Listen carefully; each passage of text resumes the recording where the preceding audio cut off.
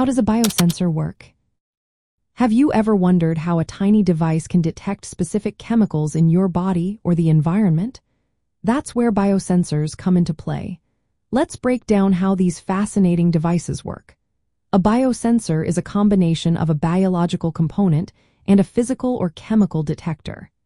This unique pairing allows it to identify specific substances, known as analytes. At the heart of a biosensor are three main components, a biological recognition element, a transducer, and an electronic system for processing signals. The biological recognition element, often called a bioreceptor, can be an enzyme, an antibody, a cell, or even nucleic acid. This element is specifically chosen for its ability to interact with the target molecule. When the analyte comes into contact with the bioreceptor, a chemical reaction or binding event occurs. For instance, if the bioreceptor is an enzyme, it may convert the analyte into a product. This process can releases substances like electrons or hydrogen ions, causing a change in the environment around the bioreceptor.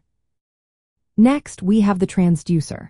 This part of the biosensor detects the change caused by the reaction and converts it into a measurable signal. There are several types of transducers. Electrochemical transducers measure changes in electrical properties, such as current or voltage, resulting from the chemical reaction. Optical transducers, on the other hand, detect changes in light absorption or fluorescence. Piezoelectric transducers measure changes in mass or vibration frequency due to the binding of the analyte. Once the transducer has converted the chemical change into a signal, the electronic system processes this signal. It often amplifies the signal and converts it into a format that can be displayed or recorded. This allows users to see the presence or concentration of the analyte in real time.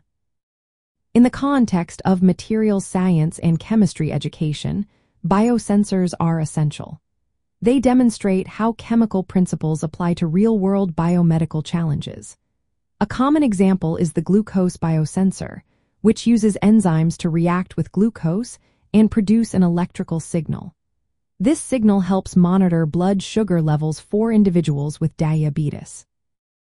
Biosensors have many practical applications.